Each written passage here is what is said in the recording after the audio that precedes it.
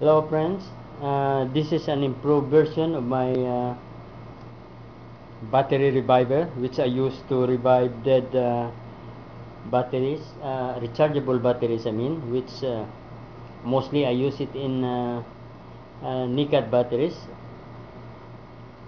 This is the probe, right? So I put it on the the positive side to the positive and the negative side to negative when that capacitor is charged. So this uh, power supply uh, supplying uh, 15 volts DC to the three parallel capacitors.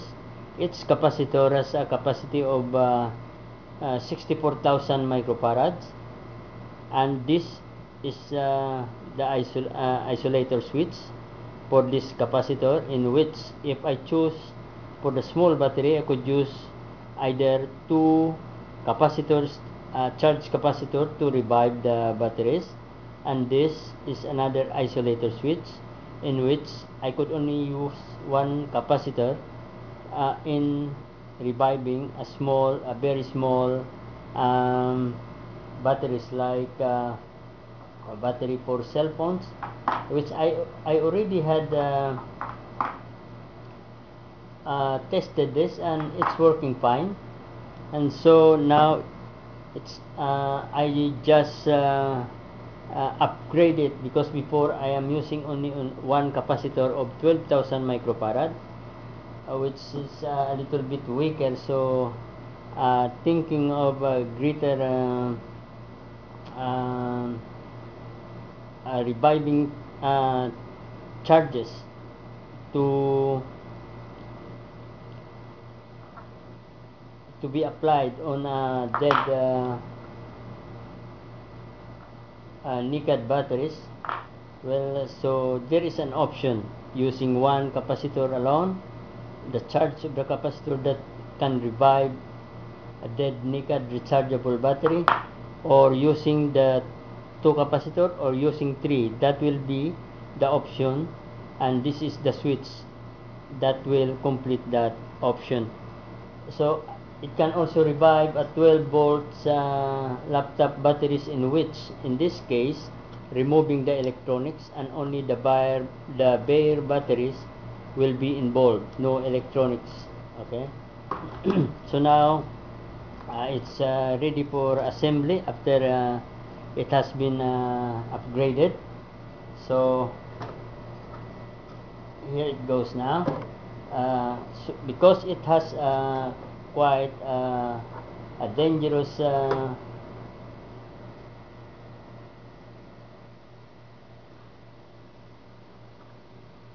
a charge that will be disposed of. So I decided to make uh,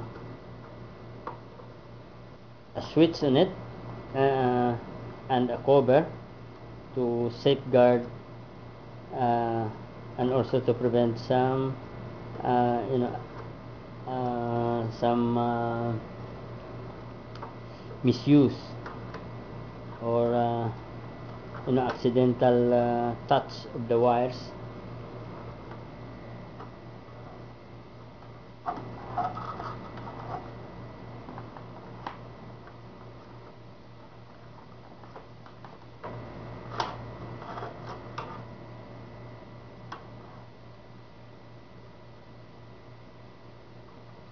positive is separated to the positive side and the negative will be on the negative side. This is uh, an experimental and uh, it's proven working. So I decided to make uh, to finalize the construction of this.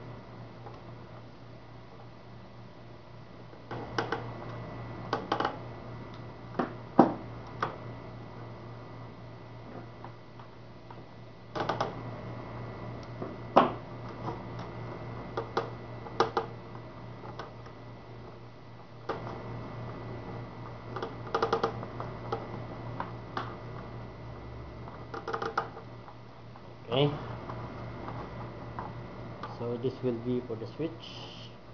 This is for the capacitor. It goes there.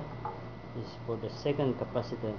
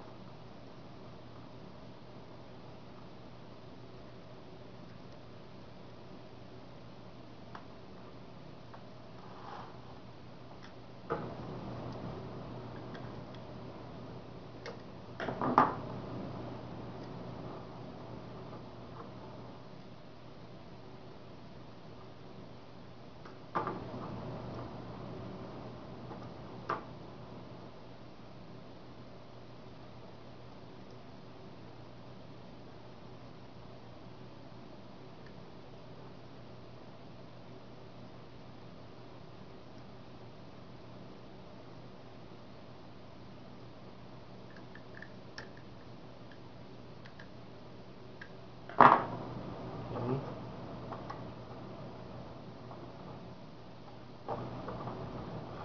it's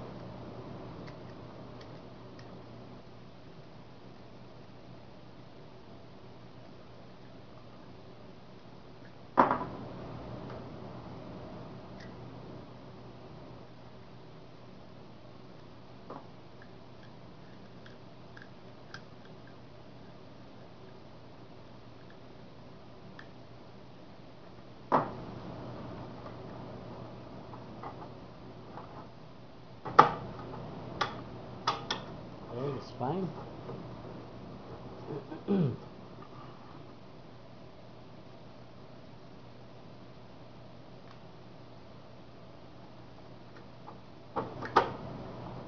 And this and and this switch is uh, to isolate the positive and the negative to the fuse so that whenever uh, it is uh, the capacitor is discharged it will not uh, blown off the fuse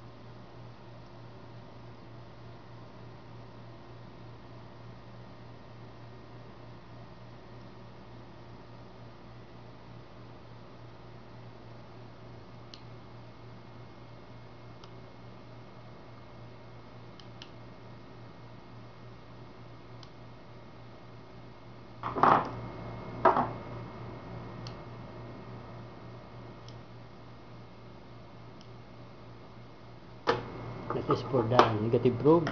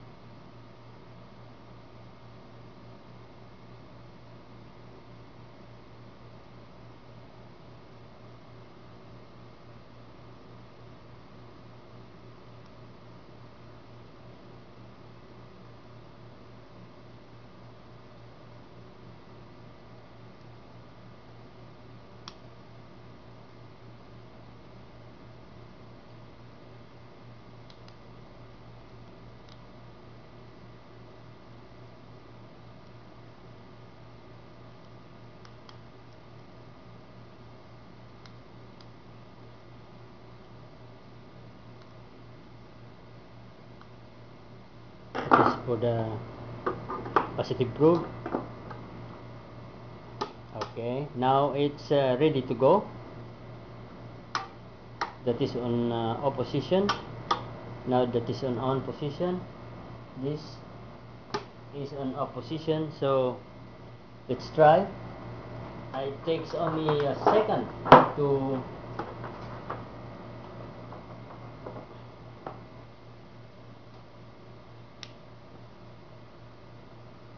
charge the three batteries.